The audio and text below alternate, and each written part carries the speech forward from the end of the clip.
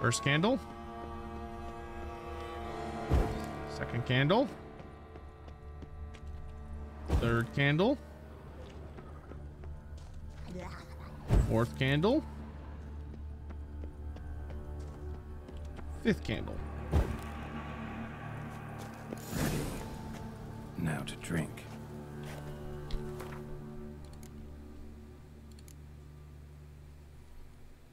Uh.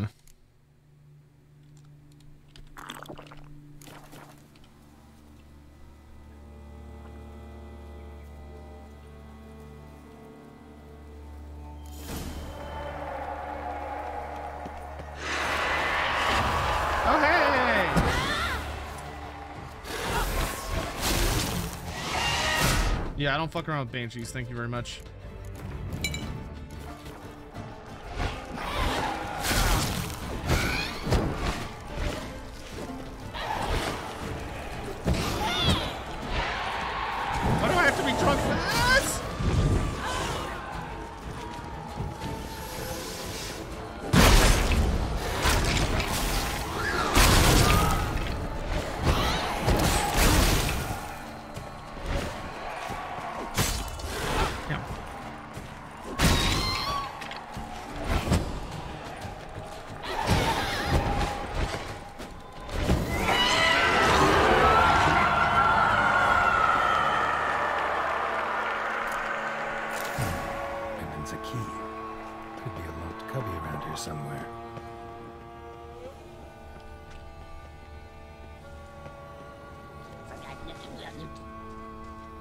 Who is nub nubbing over here?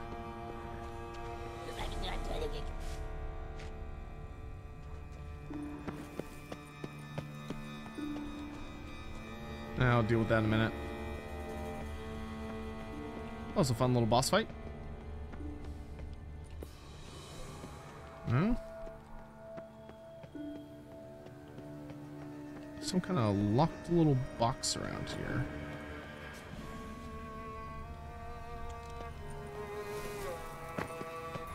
Aha!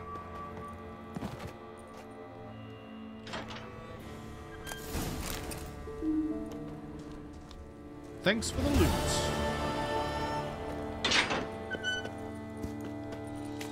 Dust-covered journal. The journal's only apart from age, only a few entries can be deciphered. The 16th day of the month of Lammas, year 1178.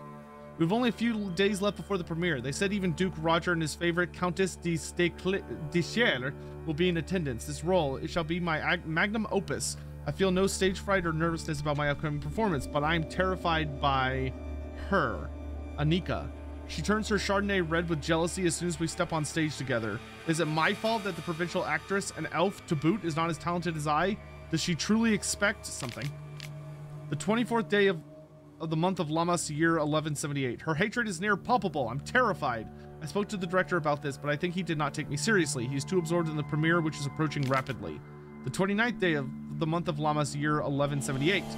Anika has been rooting around in my things. She read this journal. I caught her red-handed sitting in my room. I'm horrified by how I reacted. I exploded naturally, screamed at her at first, but a single look from her uh, from her froze that scream in my throat with fear. I must take all my most valuable possessions and hide them in the amphitheater. I shall now wear the key to my chest on my person at all times, hanging from this necklace the jeweler made for me. The 33rd day of the month of Lammas, year 1178. It gets worse and worse. I fear she wishes to kill me. I feel an itch in my back, presaging her dagger, or perhaps this itch in my throat. Is that her as well? Shall it be poisoned then? Very theatrical of her either way. Gods, I swear, if that despicable creature does anything to hurt me, I shall turn this amphitheater into an earthly hellscape. Wow. Got, hey, you gotta give her marks. She, uh, she, uh, stuck to her guns on that particular last note. Alright, so there's a cave down here we can explore in a second. First, I heard some little nub nubs over here.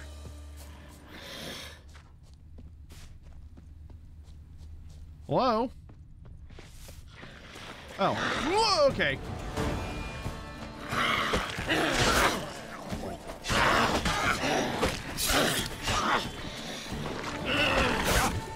Bullshit, but okay.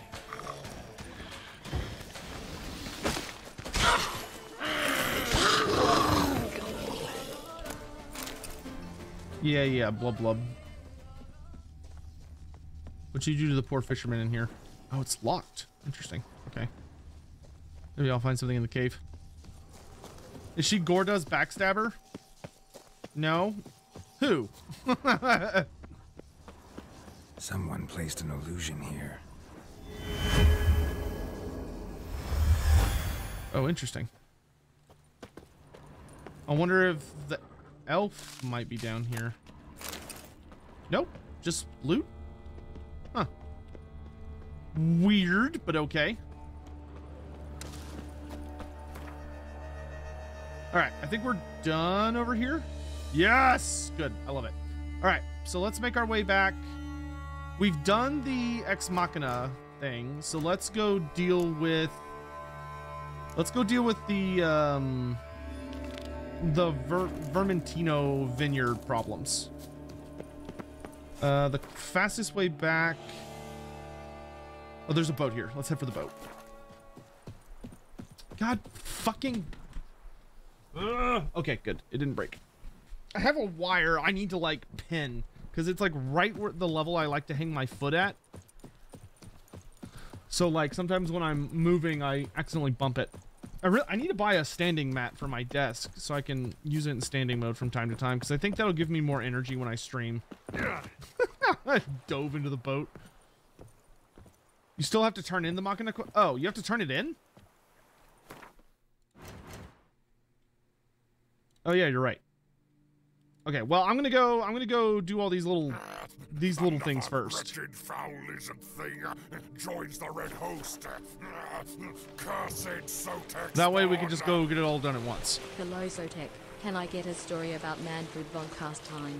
Uh, Epsilon 117. Hello, welcome. And yes, you absolutely may. Uh, I actually had a really fun conversation with about Manfred von Carstein not too long ago with uh, Steve Darlington, Steve D, um, on Lowbeards. Um, which if you haven't checked it out, you totally should. But um, uh, let's see, what's a particularly good story about Manfred? Um, probably a really good story about him that not a lot of people appreciate is that Manfred is actually one of the few vampires that has managed to go toe to toe with Khalida and walk away with his life, his unlife. Um, so after the whole incident of Hel Fenn, so Hel Fenn was the was the concluding battle of the Vampire Wars, right? It was this big epic finale, this terrifying uh, final battle where the dwarfs managed to team up with the men of the Empire, and together they successfully um, brought they they finally cornered Manfred and Hel Fenn, and there um, the uh, you know big final battle broke out, um, and ultimately it was uh, a Come hero of the Empire. Um, I forget what his name is off the top of my head, but uh, a great hero of the Empire managed to get to Manfred and cut him down, and Manfred's body fell into the uh, into the fen, and he you know like vanished. So it was he was presumed dead, and if you go back to the older lore, he actually was dead. But in the more modern lore, they revealed that Manfred did not actually die that day. Instead, he basically faked his death.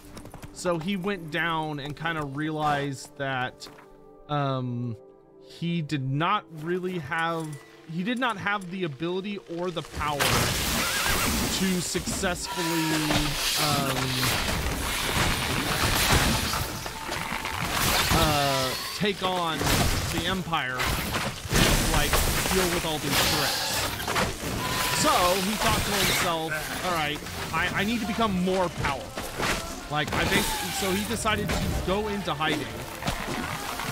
And once in hiding, um, he figured that he just needed to gain more power, to understand more about necromancy, more about dark magic, more about where vampires drew their power from. So, uh, Manfred, one of the big major things that he did was that he went on a kind of personal quest to obtain knowledge. And so the the most notable thing he did he did a couple things during this time involving lots of the other different vampire bloodlines but the most important thing he did was that he went to go visit Lahmia. He went back. Excuse me. he went back to where it all began where you know all of the original vampires were founded and all of that those goodies. Hey i remember this guy augustin tonale um, Ladislas, they've robbed the barrels from our storehouse. We must prepare a new batch and quickly, effect, efficiently. Read your instructions carefully. Chop down eight chestnuts. Prepare planks from them as quickly as you can. Then send the planks to be light. Then find 12 uh, acacias. Chop them down and remove the bark. We'll apply finish to the chestnuts as soon as they're back from leaching. Don't let any lads go out to work alone and send them in twos at the very least. We've heard those voracious yellow plants are liable to sprout up anywhere. There are true banes, so be careful. Augustine Cooper. I do what Um, they pay But anyway, so the the place that Manfred went was down to Lahmia, Slow. and as he worked his way down, um, he when he went into the city itself, Manfred did not realize that even with all of his sorcery, all of his tricks, all of his secrecy, it, that the Tomb Kings, particularly Khalida, was one step ahead of him. Because Khalida, she hates vampires, right? She hates vampires more than anything else in the universe. And so Khalida had worked with the Lich Priest to set up basically an unbreakable and borderline undetectable trap. Go, go. Um, uh, essentially like a, a, a tripwire almost, a magical tripwire that if any vampire crossed into Lahmia, uh, crossed the borders into the city, then they she would be basically immediately alerted, and so she was. So Khalida immediately set out um, at the head of her legions and went out to go fight uh, whoever it was that had entered Lahmia um, because she knew it was a vampire. Because she knows that like vampires are going to be drawn back there, to the place where they originate from. It only makes sense that they would want to return. Um, there's too much power for them not to. There- there- there's too much potential knowledge. Fuck me. Okay. Um. So, uh, she made her. Uh, she makes her way there, and when Manfred realizes that she's coming, I owe you my life, unknown knight. who the hell? How are you dubbed? Dubbed Geralt. Geralt of Rivia. My thanks, Sir Geralt. The scallywags sought to demolish our herb garden, you see. I thought, I shall take a hammer, scare the rabble off, but to my great chagrin, there were too many, and I... I failed. Ah, there's no use crying over spilt wine. Come with me to Vermentino. I'll patch up your armor or pound the anvil to fulfill some other need you might have. Oh, he's a blacksmith. Uh, I'll come by later. Okay, I'll, I'll catch you then. Go ahead. I'll stop by when I'm in the area. Neat. Um, anyway, so uh, Manfred uh, eventually realizes that Khalida's coming for him, and he makes his preparations. Like he summons a vast army of the dead. He does his best to kind of break the spirits um, that are contained within Lahmia to his will, and was very successful at doing so. Um, now, granted, he did acquire a ton of knowledge from Lahmia. He learned a lot uh, about further secrets of necromancy, um, and he basically got what he came for. But then Khalida showed up, and the two of them got into a very big spat. Uh, so Manfred was doing everything in his power to obliterate her with overwhelming magical power, um, as well as you know utilizing his own skills in combat. But Khalida is terrifying.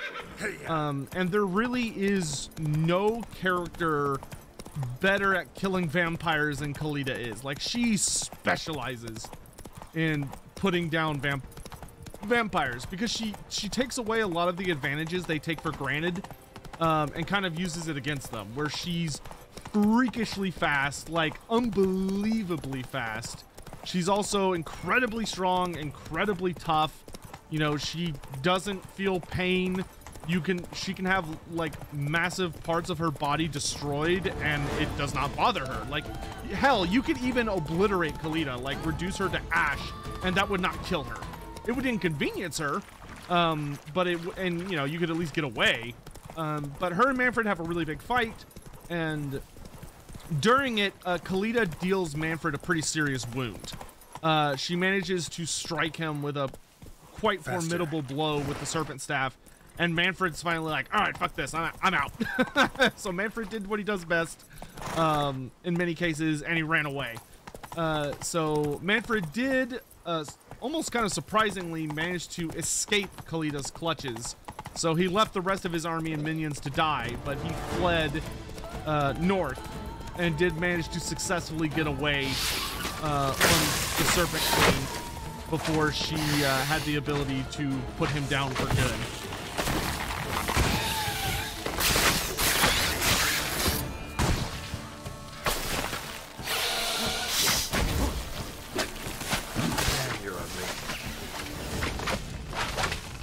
One? Okay.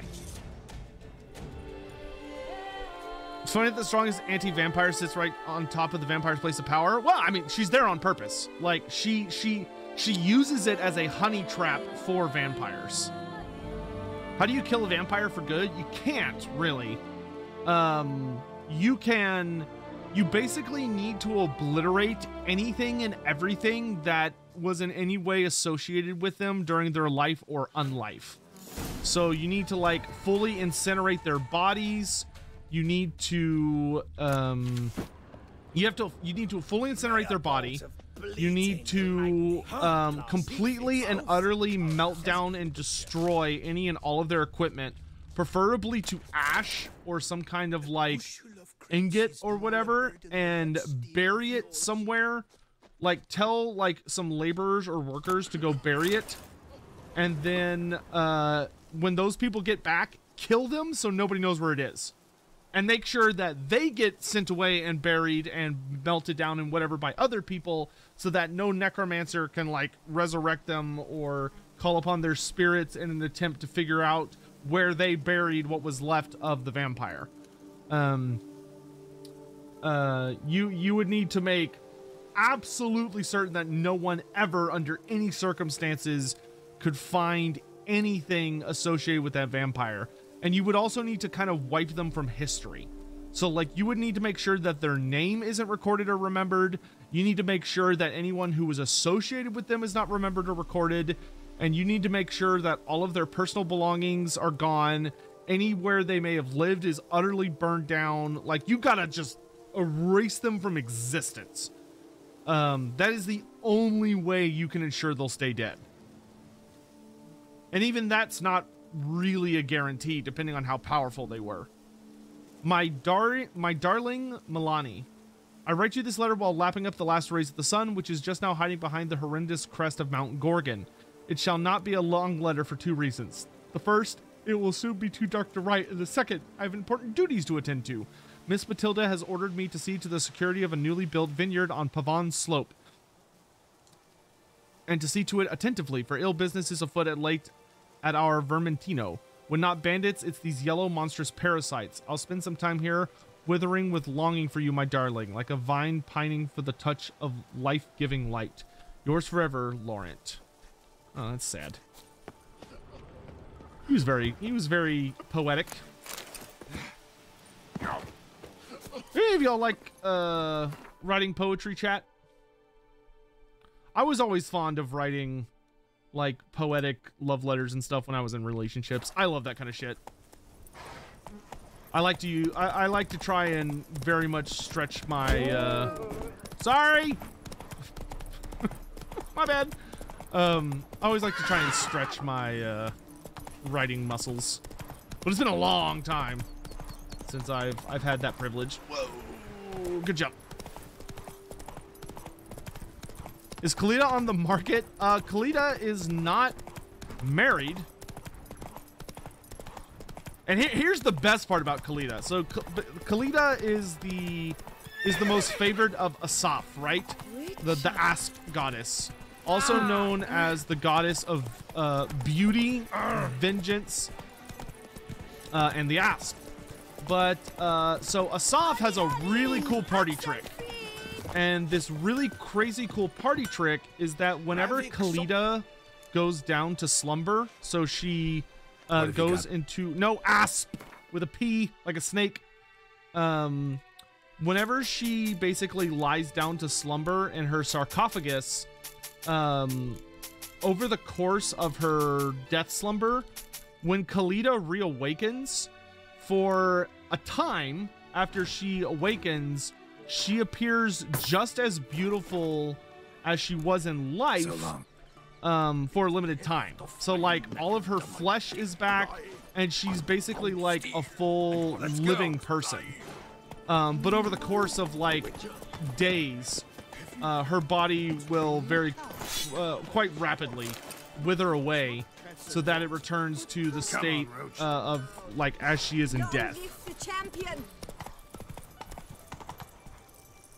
Last time I wrote a poem, it got absolutely obliterated over its quality. Oh, that's not nice. Was it for like a class, or was it like you you wrote for someone else and they were mean about it? Geralt's ride is terrible. Only one horsepower. Because if it was like a gift and somebody shit on it, that's super not cool. That's rude as fuck.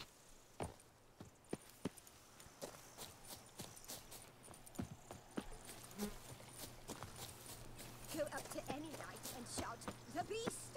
You smell Sometimes you try to make a haiku. Oh, that's cool. Teaspoon of salt. Thank you so much for the 19. Oh fuck. Um, thank you very much for the uh, the 19 months. I really appreciate it.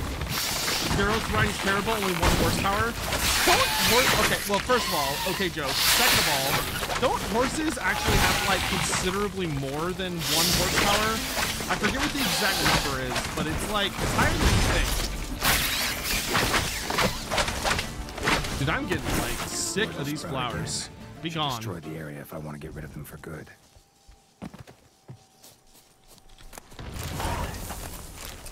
See ya.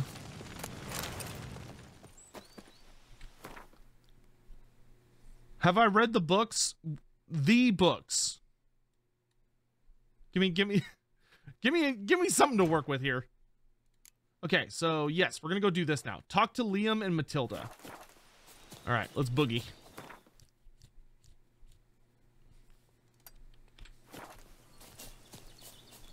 Hundred and fifty feet away. Witcher books. No, I have not. I got I'm I'm still working my way through my my book reading time goes to Warhammer Fantasy and Age of Sigmar. I, I really don't have time for anything else.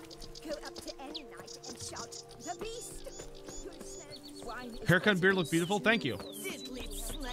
Yes, the lovely woman at Roosters did a good job.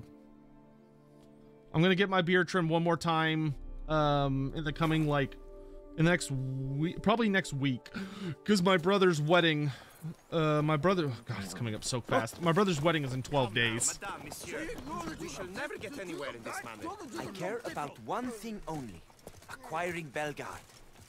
I will make an infinitely better steward than she will. Pretty face is hardly enough if the head it adorns is empty. Says the most foppish philanderer of the southern reaches. You do better to tend to your vineyard and look less to the grape-stomping lasses. sup nerds Master Witcher, have you any news? uh wait have i never done this This vineyard, Belgaard, why is it so valuable? you are not from here, it certainly shows. Before Count Crespi fell prey to the beast, Belgaard belonged to him. As a man of wealth and influence, he guided it to immense success.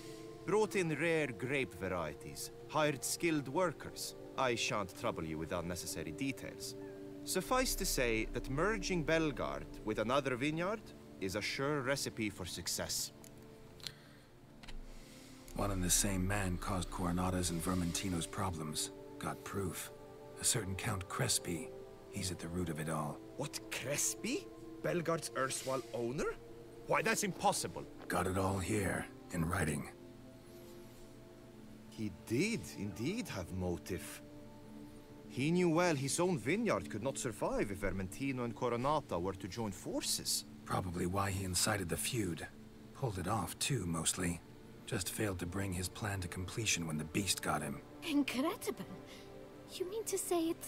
it wasn't Liam? And I was certain my troubles were Matilda's doing. Oh, just shut up and kiss In you two. light of new evidence, uh, the most just resolution would be for both injured parties to share oversight of Belgaard. Wait just a minute. Do you mean to suggest we're to cooperate? Just It's hate fuck each other and optimal move on. solution, Let's yes. In terms of the health of the enterprise as well? Hmm. I can't believe I'm saying this, but I do believe he's right. Perhaps it is time to bury the hatchet. Three vineyards are more than one. There's much to be gained. So be it. That's not all. The troubles at your vineyards? Solved them. You can go back to operating normally now. Nice. Splendid news. I'm relieved to see you hired a professional, especially one whose aid might still prove invaluable. But let's not get ahead of ourselves. Follow me. It's high time you saw Belgaard. Witcher, come with us, please. Something tells me we'll have tasks for you yet. Fine, fine, fine. All right, let's go. Yeah, okay, we just completed like three quests with My one strike. Belgaard to pass into capable hands was no Oh, so whim. good. But the vineyard's fallen upon hard times since its previous owner's demise. I've been told of workers dying on their rounds, monsters prowling about. Before anyone can call this home, they will have to deal with these um, inconveniences. That is the minister's wish. More work for me, I guess. If you're willing, we'll gladly accept your help. Uh, yeah, pay me though. I can help, sure, but I won't work for free. Holy moly! Look at all that. Look at all that coin. Uh, let's go for eleven twenty-five. A bit less? Is that out of the question? Fine. Uh, flat, flat. Uh, oh, eh, t- uh, ten eighty-five. Fine. We have a deal. Hey, Azur, what's up, hon? More or less already agreed, I guess. How are you? That's a weight off my chest, I must say. Your reward shall be fair, I promise. I'll get to work. That I will. Wine Wars. All right. Let's go kick some ass. I like how I've already solved one of them. Am I just in like a completely different part of the map? Oh yeah, I am. Oh good. Oh man, we're getting real close to finishing all the question marks. Oh, we're, we're getting so close. Okay. Roach. Get over here. Still glued in bed. Well, that doesn't sound healthy. Who put all that sticky glue in your bed?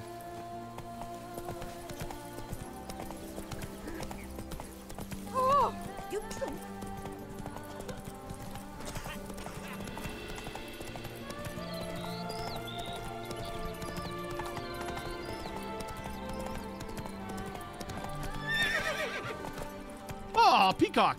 That's cool.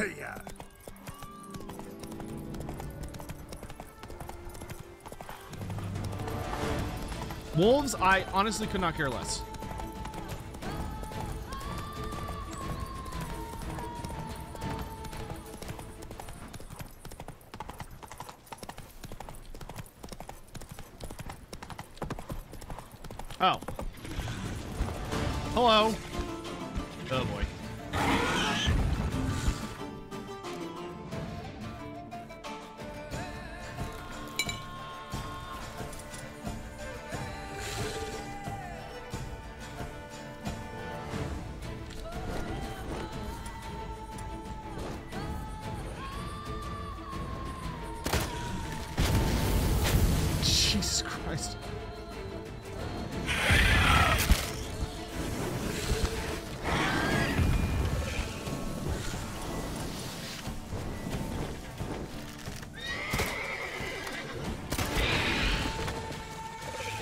Roach, you may want to move.